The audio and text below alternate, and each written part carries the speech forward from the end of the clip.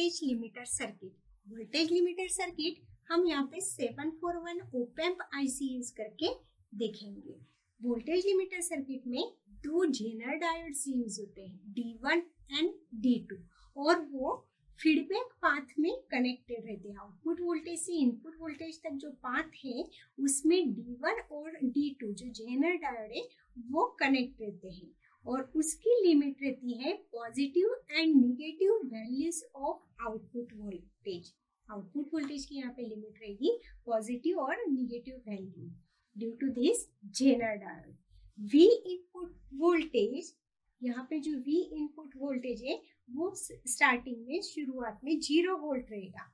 वो जैसे ही इंक्रीज होता है पॉजिटिव डायरेक्शन में ये ज़ीरो वोल्ट जैसे ही इंक्रीज होता है तो आउटपुट वोल्टेज जो है, ये आउटपुट वोल्टेज जो है, वो निगेटिव डायरेक्शन में इंक्रीज होगा।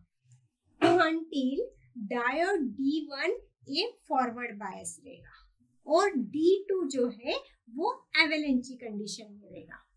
क्या होगा? V इनपुट जो है, वो ज़ीरो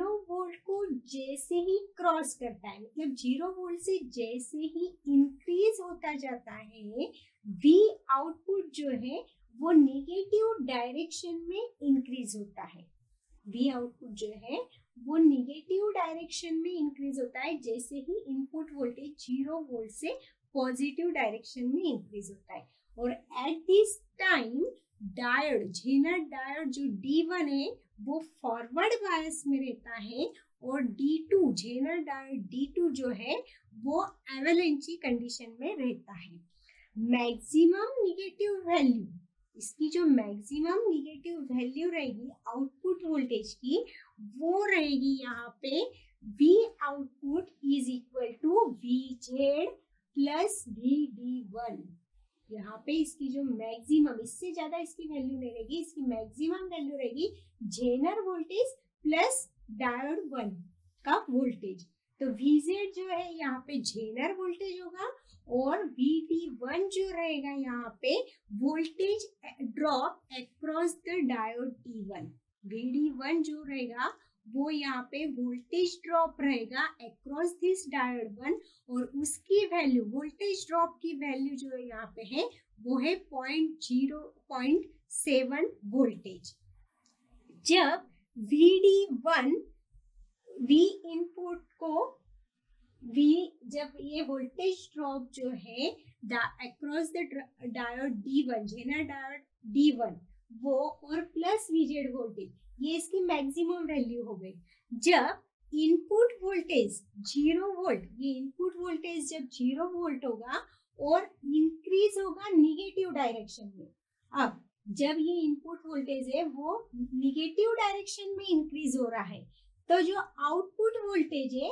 वो पॉजिटिव डायरेक्शन में इंक्रीज होगा। जैसे ही ये कंडीशन आएगी तो डायोड डी टू जो है, वो फॉरवर्ड बायस में रहेगा और diode D one avalanche condition में आएगा। और डायोड जैसे ही डी वन एवेलेंची कंडीशन में आता है तो इसकी मैक्सिमम पॉजिटिव वैल्यू रहेगी यहाँ पे VZ प्लस VD2 यहाँ पे जो VZ है, वो रहेगा जेनर वोल्टेज और VD2 रहेगा voltage drop across this zener diode 2 और ये वोल्टेज ड्रॉप की वैल्यू रहेगी 0.7 वोल्ट क्या हुआ? ज़ीरो वोल्ट से जब वी इन इंक्रीज होगा पॉजिटिव डायरेक्शन में आउटपुट हमें निगेटिव डायरेक्शन में इंक्रीज होता हुआ मिलेगा और उसकी मैक्सिमम वैल्यू रहेगी V Z plus V D one जब इनपुट निगेटिव डायरेक्शन में इंक्रीज होता दिखेगा, तब आउटपुट पॉजिटिव डायरेक्शन में इंक्रीज होगा और उसकी जो मैक्सिमम वैल्यू लिमिट रहेगी, वो रहेगी V Z plus V D two रहेगी। देयर फोर जो आउटपुट वोल्टेज है, वो स्विंग करेगा। उसकी जो लिमिट रहेगी, वो स्विंग की लिमिट रहेगी V Z plus V D two to V Z plus V D one और यहाँ पे जो वी डी टू और वी डी वन जो वोल्टेज ड्रॉप रहेगा, वो रहेगा point seven volt voltage drop across V D one and V D two voltage drop जो रहेगा वो पॉइंट सेवन वोल्ट रहेगा। यहाँ पे जो इनपुट टर्मिनल है, ये ओपैम के जो इनपुट टर्मिनल है, वो है V1 एंड V2 वो वर्चुअल ग्राउंड से कनेक्टेड है। वर्चुअल ग्राउंड से कनेक्टेड है मतलब V1 और V2 इसकी वैल्यू रहेगी यहाँ पे ज़ीरो वोल्ट और V इनपुट जो है वो यहाँ पे अक्रॉस नॉन वी इनपुट जो है, वो यहाँ पे इन्वर्टिंग टर्मिनल को कनेक्टेड है across this resistor are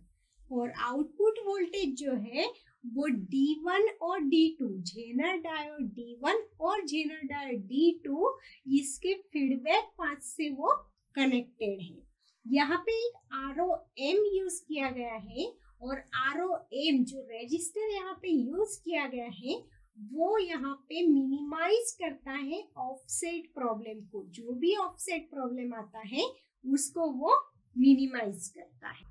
If need to limit the swing of output voltage to the positive direction only अगर हमें आउटपुट वोल्टेज सिर्फ़ पॉजिटिव डायरेक्शन में और निगेटिव डायरेक्शन में स्विंग करना है तो उसके लिए क्या करना पड़ेगा? तो कॉम्बिनेशन ऑफ़ झेनर डायोड और सिंपल रेक्टिफायर डायोड का यूज़ करना पड़ेगा। यहाँ पे जो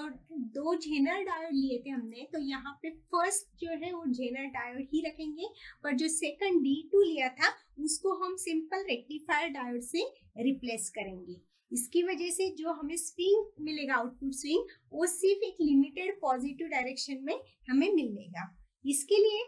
इनपुट वोल्टेज जब ज़ीरो वोल्टेज से क्रॉस करेगा और पॉजिटिव डायरेक्शन में इंक्रीज करेगा, ये इनपुट वोल्टेज है, जब ये ज़ीरो पॉइंट से क्रॉस करके वो पॉजिटिव डायरेक्शन में ओनली मूव करेगा तो आउटपुट वोल्टेज जो रहेगा वो माइनस वी सेट रहेगा। यहाँ पे जो आउटपुट वोल्टेज मिल रहा है, वो minus V saturation minus saturation voltage मिलेगा। और ये दिस हैपन्स ओनली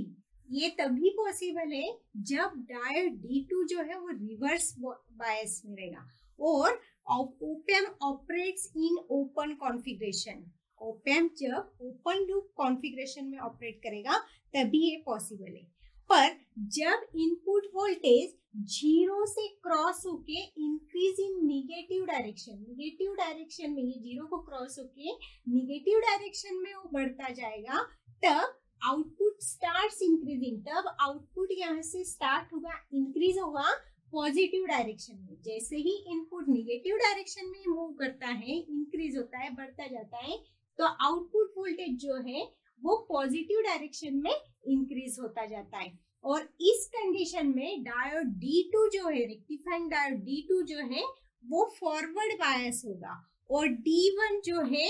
वो जो जेनर डायोड है, वो एवेलेंची कंडक्शन में आ जाएगा। इसके लिए जब आउटपुट मैक्सिमम होगा मैक्सिमम आउटपुट जो पॉजिटिव लेवल तक पहुंचेगा वो होगा VZ प्लस VD2 यहाँ पे जो VZ है, वो जेनर वोल्टेज है प्लस VD2 जो है, वो वोल्टेज ड्रॉप है across this diode D2 VD2 जो है, वो वोल्टेज ड्रॉप है अक्रॉस डायोड D2 तो जब diode D2 in forward bias में रहेगा, तब हमें D1 एवेलेंची कंडीशन में मिलेगा और ओपन क्लोज लूप में मिलेगा और यहाँ पे इनपुट निगेटिव साइकिल में इंक्रीज होता जाएगा तो आउटपुट जो है वो पॉजिटिव हाफ़ साइकिल में इंक्रीज होगा। पर आउटपुट की जो पॉजिटिव हाफ़ साइकिल की जो लिमिट होगी, वो मैक्सिमम लिमिट होगी VZ प्लस VD2 मतलब जेनर वोल्टेज जेनर डायोड के क्रॉस में जो जेनर वोल्टेज है वो प्लस वोल्टेज ड्रॉप जो अक्रॉस में डायोड डी टू में मिल रहा है वो, इतनी उसकी मैक्सिमम लिमिट होगी। इफ़ अगर हमने डायोड D1 और D2 की पोजीशन इंटरचेंज कर दी तो जो आउटपुट वोल्टेज है, वो उसकी लिमिट होगी निगेटिव डायरेक्शन में। जब अगर हम दोनों डायोड्स की पोजीशन इंटरचेंज कर देते हैं तो जो आउटपुट वोल्टेज है, उसकी लिमिट निगेटिव डायरेक्शन में रहेगी और वो निगेटिव डायरेक्शन में उसकी लिमिट रहेगी minus of V Z plus V D two minus of V Z plus V D two और उसका जो पॉजिटिव डायरेक्शन में उसका वोल्टेज होगा, वो होगा पॉजिटिव वी सेचुरेशन मतलब यहाँ पे जो अगर हम दोनों डायोड की पोजीशन एक्सचेंज कर दे इंटरचेंज कर दे तो पॉजिटिव हाफ़ साइकिल में इनपुट की पॉजिटिव हाफ़ साइकिल में जो आउटपुट वोल्टेज मिलेगा, वो निगेटिव डायरेक्शन में मिलेगा, पर निगेटिव डायरेक्शन में मैक्सिमम उसकी जो लिमिट होगी, वो minus of V Z plus V D two होगी। और जब इनपुट वोल्टेज निगेटिव डायरेक्शन में निगेटिव हाफ़ साइकिल में इंक्रीज होता जाएगा तब आउटपुट वोल्टेज हमें पॉजिटिव हाफ़ साइकिल में मिलेगा, पर उसकी मैक्सिमम लिमिट होगी, वो होगा पॉजिटिव वी सेचुरेशन इफ़ एक सिंगल झेनर डायोड हम यूज़ करते हैं इन दिस फिगर ये फिगर में देखना, कि एक सिंगल झेनर डायोड यूज़ करते हैं in place of D1 and D2 D1 और D2 की जगह पे सिर्फ़ एक झेनर डायोड यूज़ करते हैं और वो भी एक फीडबैक पाथ को कनेक्टेड रखते हैं द आउटपुट वोल्टेज की जो लिमिट होगी, वो हो जाएगी plus V Z to minus V D जब सिर्फ़ एक झेनर डायोड लेंगे तो आउटपुट वोल्टेज की लिमिट हमें zener voltage to voltage drop D तक हमें मिलेगी। एग्जैक्ट अपोजिट रिज़ल्ट ऑप्टेन अगर इसके एग्जैक्ट हमें अपोजिट रिज़ल्ट चाहिए तो यहाँ पे जो डायोड है, उसकी पोजीशन हम चेंज कर देंगे। उसकी पोलैरिटी अगर हम चेंज कर देते हैं रिवर्स डायरेक्शन में कर लेते हैं तो जो आउटपुट वोल्टेज मिलेगा, वो मिलेगा हमें plus V D to minus V Z इसकी जो आउटपुट वैल्यू मिलेगी, उसका लिमिट रहेगा, वो रहेगा plus V D to minus V D मतलब उसकी जो वैल्यू है, वो भी इंटरचेंज हो जाएगी। ये जो वोल्टेज लिमिटर है, इसके डिफरेंट एप्लीकेशन है जैसे in the communication system communication system में हम वोल्टेज लिमिटर यूज़ करते हैं। जहाँ पे भी वोल्टेज का लिमिट करने का काम होगा, वहाँ पे हम कम्युनिकेशन सिस्टम में वोल्टेज लिमिटर यूज़ करते हैं। जैसे कि डिवाइसेस है, जैसे कि टीवी है टीवी में भी वोल्टेज लिमिटर करने हैं हर चैनल्स पे। एफएम रिसीवर है, वहाँ पे भी वोल्टेज लिमिटर यूज़ होता है।